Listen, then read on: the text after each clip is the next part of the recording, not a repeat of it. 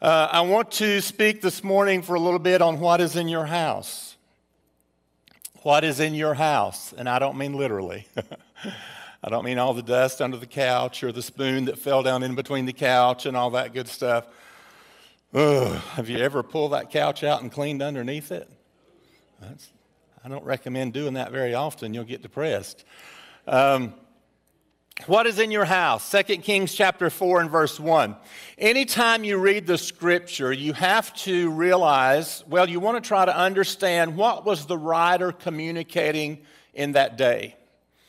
What was he communicating to the people of that day? But also, you want to try to discern how does this apply to me? What is the application for me? Because I obviously don't live back thousands of years ago when this passage was written, but the Word of God is active, it's alive, it's relevant for us today, and it will be relevant if Jesus tarries for generations to come because it's the Word of God that is just forever faithful, forever true. It's, apl- it's applicable to our life. So, how does the Word apply to me?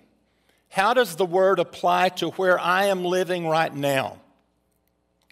2 Kings chapter 4 verse 1 a certain woman of the wives of the sons of the prophets cried out to Elisha saying your servant my husband is dead and you know that your servant feared the Lord and the creditor is coming to take my two sons to be his slaves back in this day the Old Testament uh, you could sell off your children.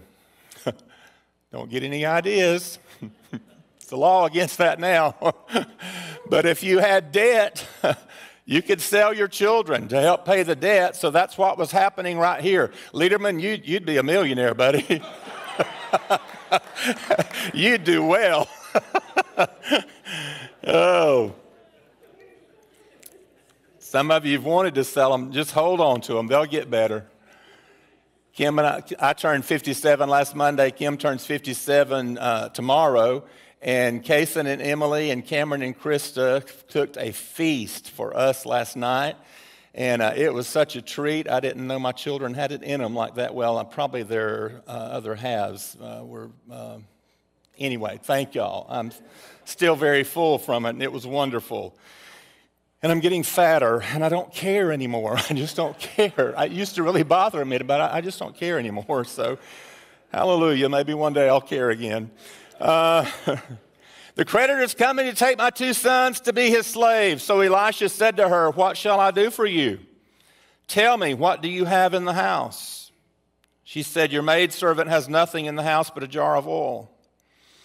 Then he said, Go borrow vessels from everywhere from all your neighbors, empty vessels. Do not gather just a few.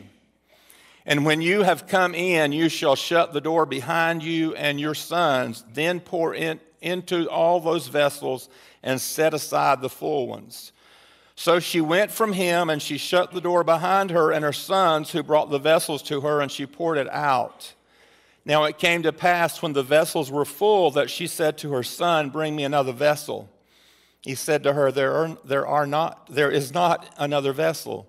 So the oil ceased. Then she came and told the man of God, and he said, Go sell the oil and pay your debt, and you and your sons live on the rest. Heavenly Father, we thank you for your word today. And we thank you that you're just looking for a vessel to pour into, God. And I pray for vessels in this house today, Lord. Oh, that the Holy Spirit would be poured out. Lord, that you would fill us up to overflowing. As Kirsten spoke about, God, that we would be that light, that witness, that individual that's full of Christ and sharing your light and your love.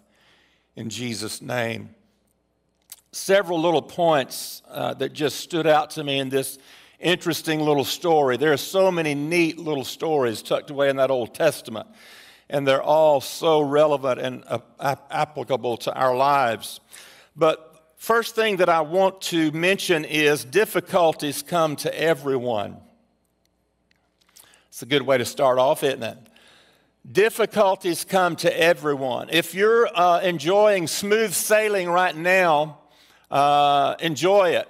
That season may pass.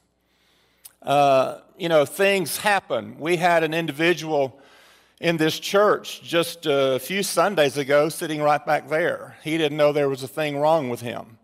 Uh, he came to the men's event we had where we cooked fish, uh, ate a pile of fish, um, just living life, having a good time.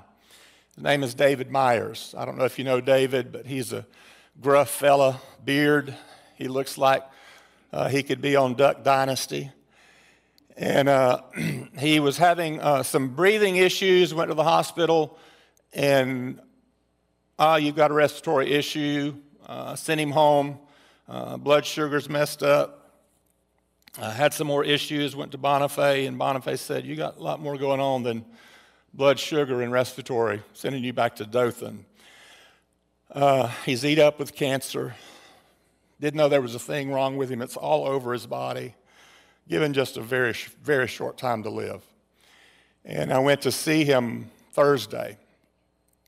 Uh, I went by the hospital. I could not even rouse him up. He was so out of it. So I left and made other stops in Dothan, and his wife called me very upset because they'd gotten the report from the doctor. And uh, I said, Well, I'm going to be in Dothan for a while. I'll come back by there. Maybe I can get him roused up. She said, I can't get him to rouse up either. So I went back by. I walked up to his bed and he took me by the hand and just started rubbing my hand. And uh, he, he said, I want you to say the words over me. And uh, I said, David, I'll say whatever, I'll do whatever you want me to do. He said, I want, I want you to see that they get some fish and fry up some fish and have some cheese grits. He said, and I want to be buried on my property. I said, So you want us to have a going away celebration? He said, That's what I want. And his wife come in, and she didn't realize he knew everything that uh, he knew. And she said, What are you saying? I said, He's wanting a going away celebration. And she didn't realize the doctor had told him everything, I think, and he, it was all, the cat was out of the bag. And I said, Well, David, I said, none of us are promised tomorrow. I said, I'm certainly not promised tomorrow. I said, um, No, we don't know when we wake up what we're going to face. I said, Are you ready to meet the Lord? He looked me square in the eye and said, No, I am not. I said, Well, do you want us to do something about that right now? He immediately changed the subject. He looked at his wife and said, How's Jimmy? and she couldn't figure out which Jimmy he was talking about, and this went on a little while. And uh, he looked back at me and he says, Brother Moore, do you think the Lord would forgive an old sinner like me? I said, I don't think he would. I know he would. He said, Well, I've always lived my life with this philosophy God, if you'll leave me alone, I'll leave you alone. He said, God, if you won't bother me, I won't bother you. I said, Well, it's time to let him bother you and it's time for us to bother him. And he turned back to his wife, How's Jimmy? and she said, Forget Jimmy, listen to Brother Moore. and I, I, I, was about to say, David, can I lead you in the prayer? And I didn't have to say a word. He started calling on the Lord, crocodile tears rolling down his face. He said, Lord Jesus, will you forgive an old sinner like me? He said, Lord, I can't remember all my sins, but you know every one of them, God, and I've lived my life without you, and I need you. And the Holy Spirit fell in that hospital room, and the presence of God came down. There was a peace that came over his face. His whole countenance changed in that little moment right there. So we never know what a day may bring. Difficulties come to everyone at some point in your life. It may not always be smooth sailing. This woman went to Elisha and said, My husband, your servant, is dead. So this man was a servant of the Lord. He died, he leaves behind a wife and sons, and obviously debt because the creditor has come to take the sons in payment for the debt. So he was a child of God, he was a servant of God, and yet she was a servant of God. But guess what? She woke up one morning and difficulty was knocking on her front door. The poor widow's in a very difficult place. Her husband died. Not only died, he died poor and he left behind debt. The creditors coming to take her sons as payment for the outstanding debt. He was a prophet who feared the Lord. He hadn't heard about the prosperity gospel yet. He hadn't sent a seed faith offering to Mike Murdock or Brother Copeland or Jesse Duplantis. If he had of, he could have just died a wealthy man, but he didn't get that word. Christianity is not a problem-free life. A matter of fact, sometimes when you accept Christ and name the name of Christ, your problems just start. because you're in a world that is antichrist. The psalmist said, Many are the afflictions of the righteous, but the Lord delivers him out of them all. He said, Yet for your sake, God, for your sake, we're killed all the day long. We're counted as sheep for the slaughter. Awake, why do you sleep? Lord, can't you see where I am? God, can't you see what's happening around my life? Lord, are you asleep? You ever felt that way? Arise, do not cast us off forever. Why do you hide your face and forget our affliction and our oppression? Jesus said in John 16, These things I've spoken to you that in me you may have peace. In the world, you're going to have a flower bed of ease. Oh, I'm sorry, I read that wrong. In the world, you'll have tribulation, but be of good cheer. I've overcome the world. And if I'm in you, you're an overcomer.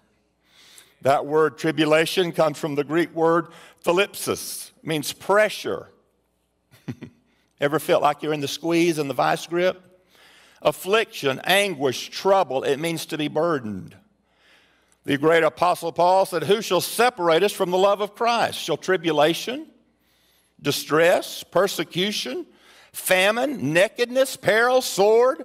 As it is written for your sake, again, he's quoting the psalmist that we just read, we're killed all the day long. We are counted as sheep for the slaughter. Yet in all these things, we're more than conquerors through him who loved us. In other words, it doesn't matter what the day brings. It doesn't matter what pressure comes against me. It doesn't matter the tribulation. I'm more than a conqueror through Jesus Christ. The New Living Translation, Paul said in 2 Corinthians 6, in everything we do, we show that we are true ministers of God. We patiently endure trouble and hardship and calamities of every kind. We have been beaten, been put in prison, faced angry mobs, worked to exhaustion, endured sleepless nights, and gone without food. That's what Paul said. So, Difficulties come to everyone. Amen? This poor widow, difficulty had come to her house. But this poor widow had someone to cry out to. And you and I have someone to cry out to when difficulty knocks on our door. This poor widow woman cried out to Elisha, who represented God. He was the man of God. It's been interesting as I have reread through the Old Testament. I started back, well, the end of last year, and uh, reading uh, this particular book of, Second Kings, I highlighted and underlined how many times Elisha is referred to as the man of God. The man of God. Uh, powerful miracles that he did, powerful miracles that he accomplished. So we have someone to cry out to. This woman, when difficulty came her way, when pressure came her way, when the creditor was coming her way, she cried out to the representative of God, the man of God, who represented God. And we have an intercessor who is pleading for us before the throne of God. Hebrews says, We do not have a high priest who cannot sympathize with our weaknesses, but was in all points tempted as we are, yet without sin. Let us therefore come boldly to the throne of grace that we may obtain mercy and find grace to help in the time of need. We have someone to cry out to. When we have a problem, Christianity is not a problem free life. Again, let me say that. But when problems arise, when difficulties come out of nowhere, when the doctor's report blows our mind and it's not what we expected, when things happen that just come out of left field and we're not expecting it or planning it, guess what? We have someone like this poor widow did to cry out to, and his name is Jesus. He sees where we are. When your spouse walks out the door and says, I want no more of it, you have someone to cry out to. The psalmist said, I sought the Lord and he heard me and he delivered me from all my fears. You're not just talking to the wind when you're praying to God. You have a God in heaven who hears your cry. You have a God in heaven who bottles up your tears, and it is not in vain. Psalms 34 15, the eyes of the Lord are on the righteous. His ears are open to their cry. God is waiting to listen for you to cry out to him. Psalms 34 17, the righteous cry out, and the Lord hears and delivers them out of all their troubles. Psalms 57 Be merciful to me, O God, be merciful to me, for my soul trusts in you, and in the shadow of your wings I will make my refuge until these calamities have passed. God, I'm facing a calamity right now, but in your wings I'm going to take refuge until this passes over. I'll cry out to God Most High, to God who performs all things for me. He will send from heaven and save me. He reproaches the one who will, would swallow me up. God shall send forth his mercy and his truth. We have someone to cry out to today. You do not have to carry your burden alone. You do not have to package up your sorrow and tote it around by yourself. You do not have to take your breaking heart around on your own. You do not have to carry your burden. You do not have to carry your trouble, your sorrow by yourself. We have someone listening for our cry today. And God has limited himself. He has all power, he has all authority, he has all ability, but he has limited himself from acting until his people cry out to him.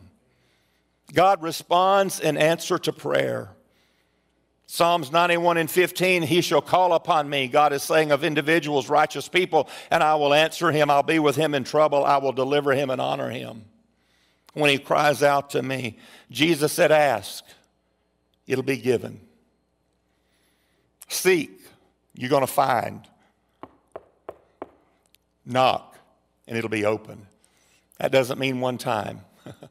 That means keep going back. That means having the faith to keep asking. That means having the faith to keep bombarding heaven. Difficulties come to everyone. And when they do, we have someone to cry out to. The question for my title What do you have in your house? Sometimes you just never know what you have in your own house. You cleaned out your closet lately? Found that thing that you thought was long lost and forgotten? Uh, we're planning to sell our place and uh, put it on the market. And I told Kim yesterday, I said, let's sell house and everything in it. I said, let's just walk out the door with the clothes on our back. She said, well, what if these people have furniture that buy it? I said, they can have more. I said, and they can find out what to do with it. I said, let's just sell the whole shooting match. We do not know the worth and the value of the things that seem so significant and so unimportant. I don't have anything, Elisha, but a jar of oil. Some people believe that this woman was saving this jar of oil, this flask of oil, olive oil, for her burial, for her death to be anointed by. What's in your house? I don't have anything. I just got a little bottle of oil that's back there in the back. I saw something in this. The church of the Lord Jesus Christ on this earth is made up of ordinary people who do extraordinary things because they use what is in their house. I'm not talking about that home you live in, I'm talking about this house right here where you live. And the church of the Lord Jesus Christ on planet Earth does wonderful, extraordinary, glorious things because they use what is in the house that God has put in there for them to use. What is in your house that is not being used? What is in your house today that you are maybe overlooking and say, oh, that's, there's nothing really, that's not valuable. That's not worth a whole lot. Nobody will notice if that gets used or don't get used. There's something in your house that is far greater than what you see, the worth of it. There's something in your house that is immeasurable because it's a gift God has placed inside of you. It's an ability that God has put inside of you. I quote this scripture often in James chapter 1 verse 17, every good gift and every perfect gift comes down from above, from the Father of lights, with whom is no variableness, neither shadow of turning. Every good thing you will ever receive from your life. I realize the total context of the scripture, but in application, everything you'll ever receive in your life that's good, it's a gift from God. Oh, no, brother, I've worked hard for it and I've saved for it and I've scraped. Yeah, but somebody gave you the breath and the ability to work hard for it. Nobody is a self made man. There's a God in heaven that gives us the breath we breathe. Take a breath in. There's a heart inside of you that's beating, and one day it'll stop, but God knows how many times it's going to keep beating. And there's some gifts inside of the house today that God is saying, What do you have in your house? What can you put to use? What can you put in the master's service? Matthew, uh, Paul said in Romans, the New Living Translation, I love the way it reads In His grace, God has given us different gifts for doing certain things well. So if God has given you the ability to prophesy, speak out with as much faith as God has given you. If your gift is serving others, serve them well. If you're a teacher, teach well. If your gift is to encourage others, be encouraging. If it is giving, give generously. If God has given you leadership ability, take the responsibility seriously. And if you have a gift for showing kindness to others, do it gladly. He's saying there are all kind of different gifts. Thank God God did not use a cookie cutter when he made us, but he placed different people in the body, different individuals, different giftings, different talents. We all dress different, we all look different, we all worship different, we all act different. Thank God we're all different. It would be a boring world if everybody looked like me, acted like me, liked what I like. It would. So there's something different in everybody. And we think sometimes, well, they're not like me. Thank God they're not like you. Well, they don't worship like I do. Well, thank God they don't. Everybody has something to offer. And we in Pentecost have, have tried to cookie cutter it down through the years. And if it wasn't just like us, that's of the devil.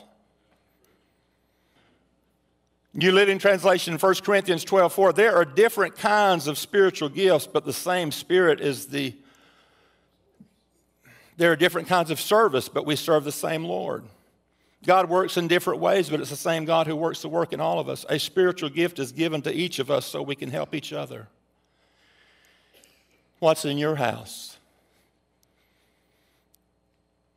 Is it being used? Are you just saving it for the day that you die? Like the little woman. I mean, I'll, I'll put that back in a safe place. No, God has given it to you to be used. Ephesians, we're his workmanship created in Christ Jesus for good works, which God prepared before the world that we should walk in them. Peter said, God has given each of you a gift from his great variety of spiritual gifts. Use them well to serve one another. Notice every gift is to serve somebody else. The gift is not for me to keep and hold on to. This is mine, don't you touch it. Every reference to the gifts is use it to serve. What's in your house? What are you using? We talk about when it doesn't seem like much. When it doesn't seem like much. God specializes in, specializes in using what it, to us doesn't seem like much. Well, all I have is a jar of oil. What good is that? What could that possibly do for me, Elisha? My husband's dead. The creditor's coming to take my two sons to pay the debt. I'm in a dilemma. What good is my little flask of oil when it doesn't seem like much? All I have is this one thing. All I have is this one talent. All I have is this one ability. I said this a while back. There are a few people in this world that are multi talented and multi gifted and can do a lot of different things, and I don't like those people. I don't like them at all. but they are few and far between. Most of us have a gift. Most of us have something we can really hone in on and, and do our thing, and we really like doing that. When it doesn't seem like much, there's a story in Matthew 15. There was a multitude of people that were thronging around Jesus. Jesus called his disciples to himself and said, I have compassion on the multitude because they have now continued with me three days and have nothing to eat. And I do not want to send them away hungry lest they faint on the way. His disciples said to him, Where could we get enough bread in this wilderness to fill such a great multitude? Lord, look around. There's not a bakery out here. There's not a McDonald's out here. God, don't you realize where we are? We're in the wilderness. There's nothing out here. Jesus said to them, How many loaves do you have? They said, Seven and a few little fish. So he commanded the multitude to sit down on the ground. He took the seven loaves and the fish and gave thanks, broke them, and gave them to the disciples, and the disciples gave to the multitude. So they all ate and were filled and took up the seven large baskets full of fragments that were left. Now, those who ate were 4,000 men, besides the women and the children. when it doesn't seem like much. What do you have? Well, all we've got seven loaves and two little fish. There's no way that'll go. There's no way that'll satisfy this need. There's no way God can use this. It's so insignificant. It's so little. It's not a drop in the bucket. You're talking about thousands of people, Lord. 4,000 men alone. And if you add a wife to most of those and, and a few children, you're talking 10,000 plus people. God, there's no way. I said, What's in your house? Well, we got seven little loaves of bread, but that's nothing. It's amazing how our nothing becomes something when God gets in it. It's amazing how God can take a church in northern Holmes County, one of the poorest counties in the state of Florida, when everybody does a little bit and pulls together, how that church can reach around 200 nations of the world with the gospel of Jesus Christ through missions ministry. Well, it's not much. I just give a little faith promise every month. You have no idea.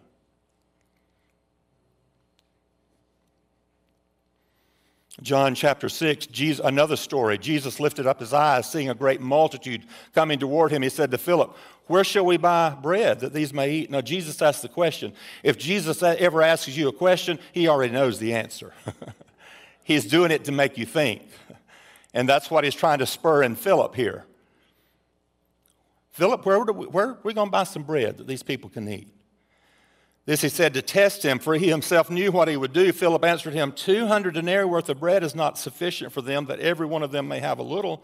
One of his disciples, Andrew, Simon's Peter bro- uh, brother, said to him, There's a lad here with five barley loaves and two small fish. Man, at least the other group, we had seven, now we're down to five. five barley loaves, two small fish, but what are they among so many? Jesus said, Make the people sit down. Now there was much grass in the place, so the men sat down about 5,000. When it doesn't seem like much, well, you know, my little contribution, they're not going to notice if I do it or if I don't. All I have is this one little ability. Stop looking through your eyes and look through the eyes of the Holy Spirit. Luke 21 and 1. Jesus looked up and saw the rich putting their gifts into the treasury, and he saw a certain poor widow putting in her two mites, least value of any coin back that day. He said, Truly I say to you, this poor widow has put in more than all of them. You mean two little coins? When it doesn't seem like much. I was asked I won't be able to say this. I was asked to go to uh, a church in Panama City last Sunday and last Saturday night. The pastor had asked me months ago, and I reluctantly said yes at the time, and for months tried to figure out a way how I could get out of it. And I had no idea the situation of the church. Oct- uh, November, October this year will be four years since Michael came through and wreaked such devastation down there.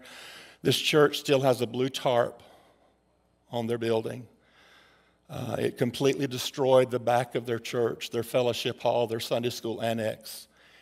Um, messed up the front. Uh, I've got pictures on my phone. I wish I'd have thought and had Jason upload them. From the church, the brick is ripped off. They've been in litigation for years with their insurance company. Finally, had to hire an attorney to get their insurance money. And I had no idea. I hadn't looked online, I hadn't looked at their pictures, and and I was to speak Saturday night at their missions banquet, which we had, they had in the, they've stood up a steel structure in the back, and it's just a steel structure, no walls, no lights. Um, it's just a hull. And their theme was Jerusalem. Uh, and the Lord gave me a message on rebuilding Jerusalem. Um, and we spoke Saturday night and the Holy Spirit just settled in that hole, that metal building. Spirit of God spoke and Lord ministered. And the next Sunday, the Sunday morning, we went to service and the Lord had given me a message for them. And the Holy Spirit just fell, and the Spirit of God was just so real in that church, like He is here. And it was probably some of the best preaching I've ever heard in my life. And I did it.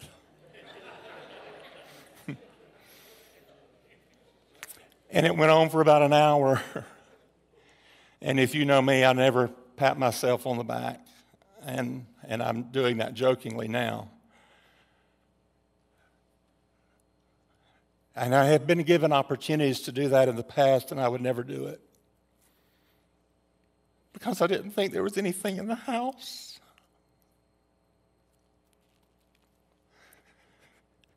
I didn't think there was anything in this house that God could use.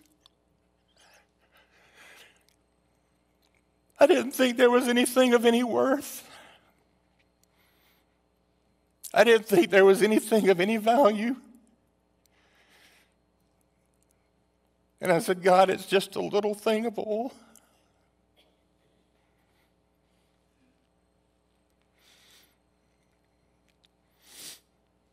What is in your house?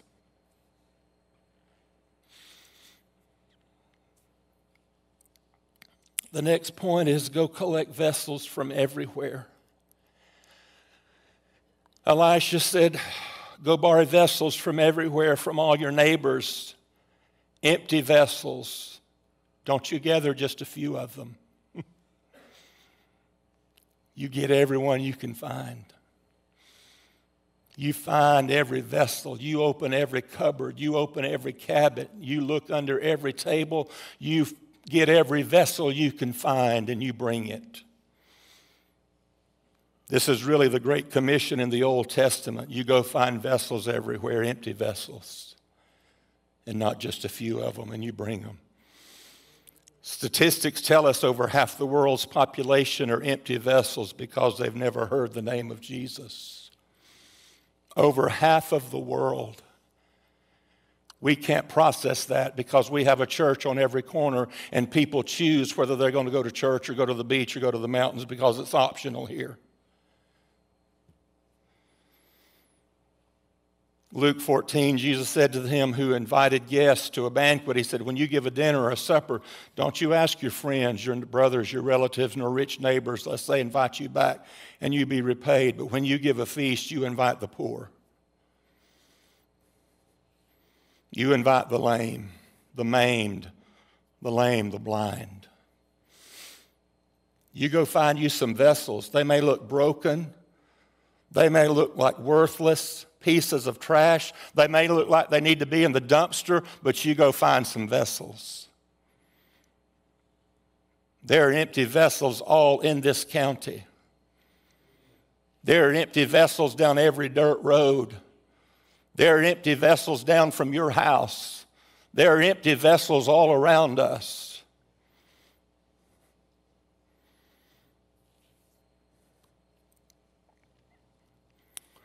Then he said, You pour what you have into the empty vessel. I like the Amplified. Then when you shall go in and shut the door behind you and your sons and pour out the oil you have into these containers, and you shall set aside each one when it's full. He said, You take that little gift that you thought was worthless. You take that little thing that you have that's a priceless treasure that you've been holding on to, and you release it and you pour it into something else you pour it into someone else. Can I tell you why you were created? Can I tell you why you're living and breathing and taking up space on planet Earth? It's not so you can be a rich millionaire. It's not so you can have accolades. It's so you can pour into somebody else. And you think you have nothing to pour. And there's a treasure inside of you. And the Holy Spirit is saying, What is in your house? And more than that, what are you doing with what is in your house? He said, You go find some vessels out there. Oh, Mahina, Mahaya, Mahaya, man. You go find you some empty vessels and don't just bring one or two. You round up every vessel that you can find and you bring them. Peter and John were headed to the prayer meeting in the book of Acts, chapter 3, going to the temple at the hour of prayer, the ninth hour. So they had three o'clock prayer meeting every day.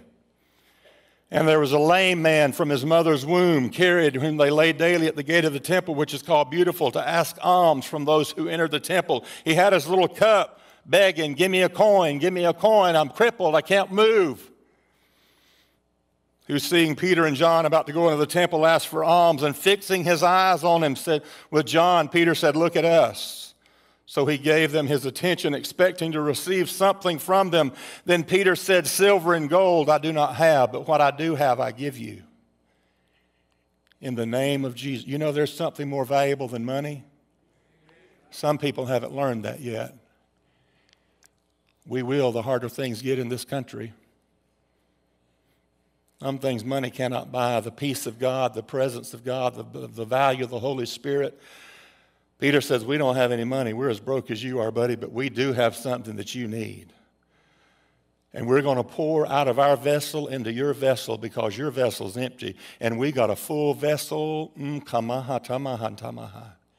I, I, I, my heart aches for people who come to church empty and leave empty. My heart aches for people who come and just have cultural Christianity because it's the thing to do on Sunday. God has made you to fill you up with His glory. God has created you to fill you up with His Holy Spirit. God has created you to be a vessel that houses the very presence of God Almighty. God has created you to be a vessel that He can pour in, that He can fill, that He can flow through, that He can pour out of. God has not created you just to come and warm a pew. God has created you to house the glory glory of God. And He's given you the glory of God to do what? Contain in yourself? No, ma'am, no, sir. God has put the glory of God in you to go find an empty vessel somewhere and pour into them. We're simply to be a conduit that the glory flows in and out of. Never to keep it and store it up and bottle it for ourselves. He said, Go find some vessels and then you're going to take what's in your house and pour into those vessels. Mark chapter 6 and verse 35 when the day was now far spent, his disciples came to him and said, There's a, This is a deserted place. Already the hour's late. Send them away. Got this crowd of people, God, it's another food problem. We can't feed them all. Let them go back home and make a ham sandwich. Well, turkey, they're Jews. They wouldn't eat ham. Let them go make a turkey sandwich, God. Send them away into the surrounding county and villages, country, and let them buy bread. It's a lot easier just tell people, go take care of yourself. I don't want to have to fool with you. Solve your own problem. For they have nothing to eat. But he answered and said to them, You give them something to eat. You do it. You give them something to eat. Uh, ooh, wait a minute, God. I don't have anything. Yeah, look, look inside. Look what you have. Look and see what you have. It's when we give it to Him that the blessing and the multiplication comes. Now, to Him who's able to do exceeding abundantly above all that we ask or think, according to the power that works in us. Is the power working in you today?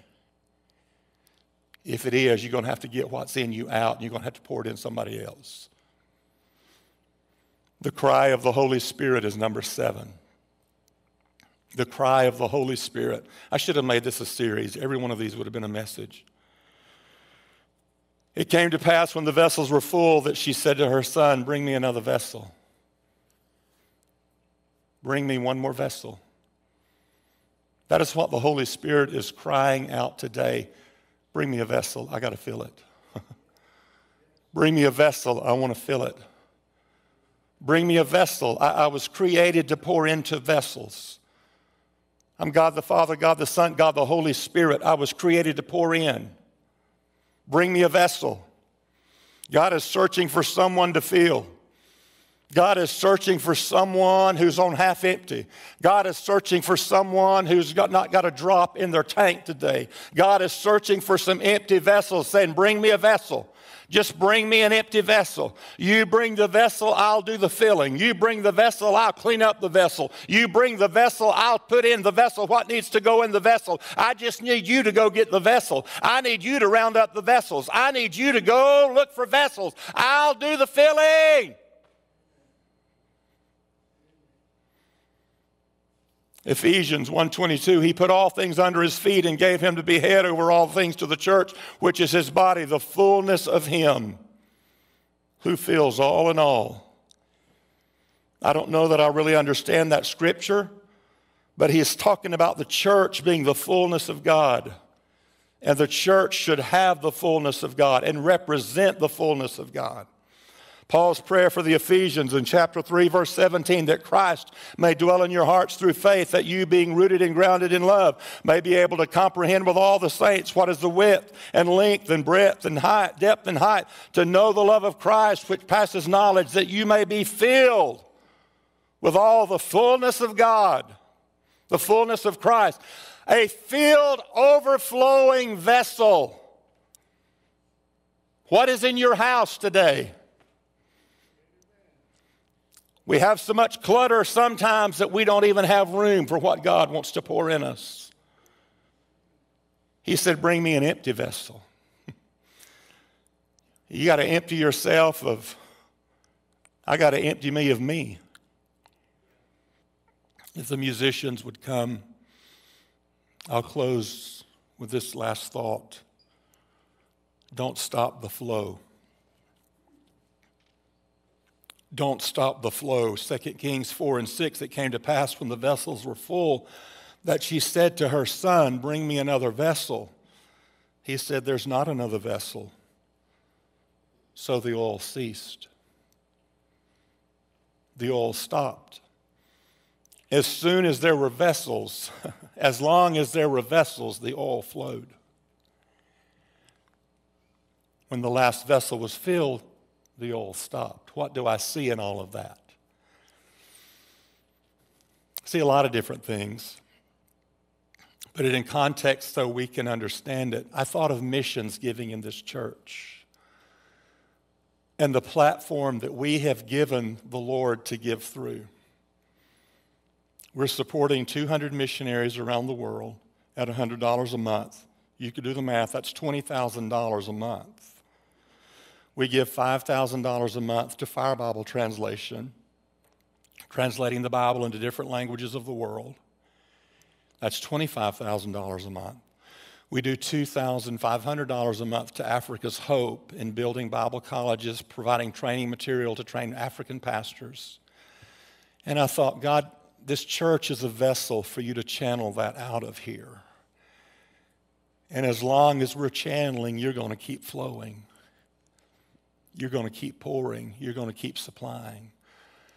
And you put it in whatever context you want. As long as we'll keep bringing people that need filling, the oil is going to continue to flow. He just needs some vessels.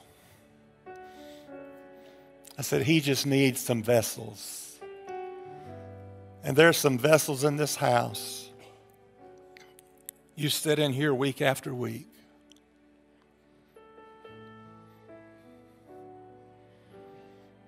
But can we all be honest with one another? You're empty. Your marriage is empty. Your house is not what it should be. And God's wanting to pour the oil in today and bring the healing. Hmm.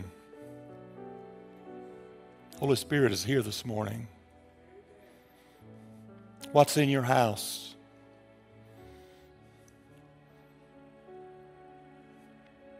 All I've got's a little thing of oil. It's not worth a whole lot. Well, go get it. Now go find a pile of vessels and take that little thing that you have held on to that you didn't think was worth a whole lot to anybody else and start pouring it into them. Mm. Would you bow your heads all over this house?